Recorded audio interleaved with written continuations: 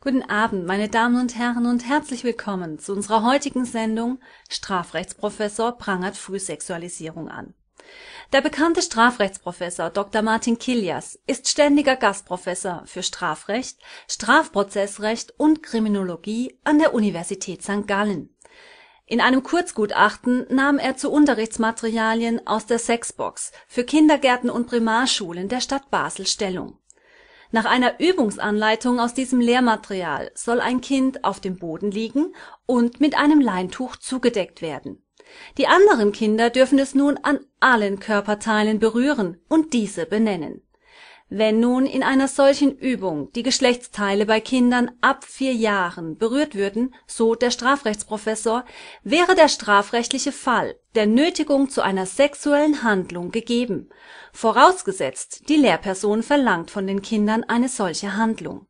In diesem Fall wäre die Lehrperson der Täter und nicht das berührende Kind weiter fragt sich Kilias, ob dieses trainierte Durchbrechen der Schamgefühle die Kinder nicht eher für sexuelle Übergriffe anfällig macht, anstatt sie durch Stärkung ihrer inneren Abwehrkräfte davor zu schützen.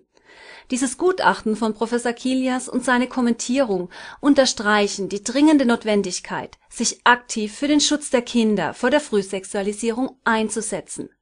Dennoch kann der in den Schulen anrollenden Sexualisierungswelle Einhalt geboten werden in der Schweiz wurde mit Erfolg die Initiative Schutz vor Sexualisierung in Kindergärten und Primarschulen eingereicht. Es kommt demnächst zur Volksabstimmung in der gesamten Schweiz.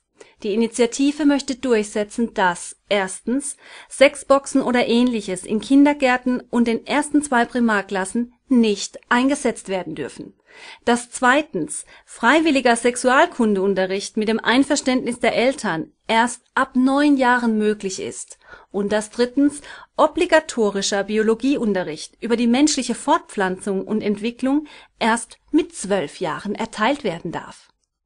In Deutschland setzt sich der Verein Besorgte Eltern aktiv für den Schutz vor zunehmender Frühsexualisierung der Kinder ein Mehr Infos dazu erhalten Sie auf www.besorgte-eltern.net. Liebe Zuschauerinnen und Zuschauer, ist es auch Ihnen ein Anliegen, die sensible Entwicklung der Kinder vor einer zu frühen Sexualisierung zu stoppen? Dann leiten Sie diese Sendung vor allem auch an alle Eltern und Lehrpersonen in Ihrem Bekanntenkreis weiter.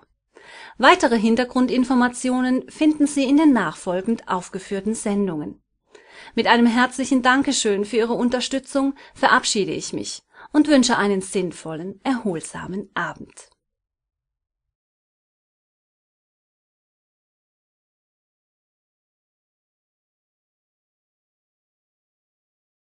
Hallo, liebe Zuschauer. Schön, dass Sie wieder bei KlarTV heute im Studio Heidelberg dabei sind. Uns erreichte ein Zeugenbericht einer Mutter mit dem Titel Kindgerechte Verführung. Sie schrieb uns, vor ungefähr zwei Jahren schon bot der Lebensmittelriese Aldi ein Kinderbuch für Kleinkinder zum Kauf an. Ein Buch mit altersgerechten Texten und abwaschbaren Seiten. Titel Die Geburt.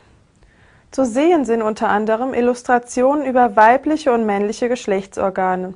Der Text dazu beschreibt, was Papa und Mama machen, damit ein Baby entstehen kann. Man mag es selber gar nicht aussprechen, doch im Buch wird die Beschreibung kindgerecht genannt. Dieses Buch, das für Kleinkinder produziert wurde, dient der Verführung unschuldiger Kinder, indem es ihre natürliche Entwicklung und Denkweise zerstört. Ist das die Zukunft, die wir uns für unsere Kinder und Kindeskinder wünschen? Verehrte Zuschauer, dieser Zeugenbericht reiht sich ein in unsere vielen Berichte der gezielten Frühsexualisierung von Kindern. Diese Beiträge können Sie sich unter der Rubrik Bildung ansehen. Wenn Sie, wie diese Mutter, auch der Meinung sind, dass die Art der Aufklärung die natürliche Entwicklung und Denkweise von unseren Kindern zerstört, dann schweigen Sie nicht.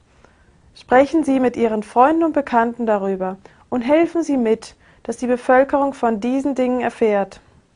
Ich verabschiede mich mit einem Zitat von Napoleon Bonaparte. Wer die Jugend hat, hat die Zukunft. Auf Wiedersehen.